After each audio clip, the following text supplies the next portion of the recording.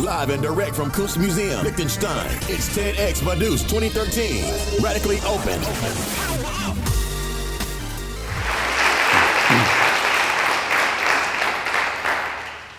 So, hello everybody, and thank you for the very nice introduction.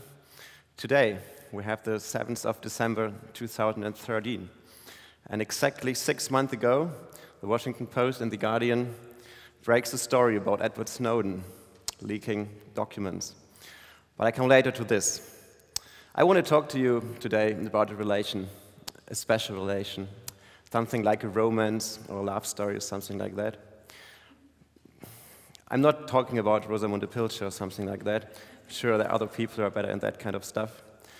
But my story is about, or has some elements of a real drama. It's about great achievements, about hopes, dreams, but also about threats, insecurity, and risks. And finally, it's about the protagonists who are put to the test, which requires a decision, which will be crucial for their future. And my story also is about the truth, or is true at least, and it's about you, everybody of you, every one of you, whether you know it or whether you don't know. So here we go. My story is about the world in which we live in, about the digital connected world. Here we go. So, just to remember, the internet and the digital world began quite ponderously. In 73, 1973, Vint Cerf and Bob Kahn started their works on some transmission control, TCP, that later became the standard protocol for the World Wide Web and the services we are using, like emails. Ten years later, so in 1983, this TCP protocol became the standard for all active hosts. So if you take this to mark the birth of the internet, the internet would now be 30 years old. So if the internet would be human, it would maybe look like this here. This picture was important to me because I promised you a romance or kind of a love story. But let's back to the internet. 10 years later, 20 years ago, exactly 1993, the first internet browser went online, and by the way, in your neighbor country, in Switzerland, from the International Organization of Nuclear Energy, they also made the proclamation that from now on, the internet shall be accessible for every human being. So that was 20 years ago. And shortly after that, we really saw the new fascinating services and digital products growing all around the world. In 1995, it was Google. In 1995, sorry, it was Amazon. 1998 was Google. 2003, it was FaceMash, which later became Facebook, Flickr, TEDx, and so on. So all those services certainly changed our life, the way we communicate, the way we behave. And I'm even convinced that this has the power to reorganize our society. So we can call this really great. Just by the way, they also an impact on the economy. We see new business models breaking through that haven't even existed before. And we see breaking innovations that may even help to societal questions such as the demographic change, or more efficient mobility, or even maybe to help to a successful Energiewende. So that is also really great. So it seems all very nice. And a big pink colored maybe, which I've promised at the beginning. But maybe it's a bit too easy to become now super enthusiastic about everything. So what I'm saying is, wait a moment. I'm not starting now to tell about this kind of people that I've talked to that's saying, oh, this new technology, it's really a threat to good old traditions, to the way we used to communicate. I'm not talking about this kind of guys who are really trying to prevent the digital change. And there are really many particular interest groups who are trying to do so. I can tell you from my for former times at the Federation of Industry. But I'm not convinced about all this. I think you can have important debate to have a successful digital change, but it doesn't question the internet at all. But then there are the other kinds of people um, who always try to explain us, be more careful. If you go to the internet with the digitalization of your private life, even if you give your bank details, your most private information into the internet, think about who cares about your IT security or your data protection. Well, to be honest, this kind of people, well, kind of were called kind of um, party poopers, I think you call them, or in Germany we call them Spaßbremse. And um, even with some statistics and very impressive numbers on the threats, on the digital robbery, the digital blackmailing, and whatever, what, what really happens every, every hour or every minute, they weren't really convincing. Until that other day in history, which was the 7th of June 2013. I think this day really changed a lot of things. We hear since that day almost every week about how the surveillance was organized of the international uh, data communication.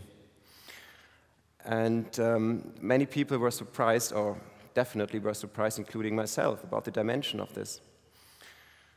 In my country, we felt in particular kind of we have to react on that. And Chancellor Merkel, she launched an eight-point program trying to better protect your privacy. But the debate became even more heated when it was published that the mobile phone of Chancellor Merkel was intercepted all the time. So we really are in a, in a, in a state where many of us are asking, how shall we deal with this situation? What shall I do to, to deal with this? And when I'm listening around and to my surroundings, I often hear two very different reactions. I'm not convinced on both of them. First is, well, the, big, the internet was an illusion. Uh, we probably have to disconnect ourselves to prevent bigger disasters. And you often also hear some kinds of renationalization, like let's renationalize the internet. Not convinced about that, and I can tell those people if you don't understand the trends and the way where the world is going to, then you, you, you're fine with that, but I don't. So, and there are the other people who absolutely disregard the danger, and they're saying, like, I don't mind if my email is co-readed. I have nothing to hide. But to this group of people, I also want to say, I'm not convinced. Because even if you don't have anything to hide, there are this kind of criminals and this kind of people who don't want good. And I think there's a good reason, for example, in Germany, why we have this as a base law, the informational self-determination. Um, so, so what can I say now? Do I have the answer? No, of course not. I can only make a suggestion. But I'm very convinced of this suggestion that I can give to the situation. And my suggestion, based on two assumptions. The first assumption is that the world is as it is. So we will keep on being more connected, and services will be getting smarter, and cloud computing and big data will event much more services that are good for our life, good for business, will um, help the companies to, to stay competitive. So second assumption is that we can already, or that we have a lot of technologies, a lot of services, a lot of things all around us that can help you, can help everyone to have a safer surrounding, to, to, to watch that your IT security is safer. Um, so very often it's just a question of the effort I really want to do to use this kind of tools. Um, let me give you three examples talking about passwords. Who of you really protected his, all of his devices or all of his documents that you, you don't want to have anyone, uh, any, anyone else to read protected by, by passwords? Uh, and just by the way, uh, secret 123 isn't a secure password. So um, one example. Another example about email communication. Um, there are lots of offers in Germany and all around the world about safe and encrypted communication. But who is doing the effort? Um, finally, think about your, your employer. I mean, it's so easy to take all your intellectual knowledge from the company out of your company, um, not even purposely. I mean, often employers are misused, um, employees are misused, uh, and they don't know what they're um, taking out of the company. So I'm just saying it's about the effort to do and to make. So here's my suggestion. I think that with the new possibilities and the new chances that we have gained with the internet, we also gained some more responsibilities with ourselves. So, and um, I think if we, if we do take this responsibility serious for ourselves, then that might be the right direction as a response to the incident six months ago. Uh, it doesn't seem like the super new and big thing now, but I think even if you realize this small idea that you use and to try to make your surrounding a bit more secure and watch a bit of your privacy, then you can do a lot. And I'm not boring anyone with numbers, but it's said that it's up to 90% safer and more secure to just do this little effort. So that was my little idea for today that I think was worth spreading around the world. Um, is it a happy end? Well, we see.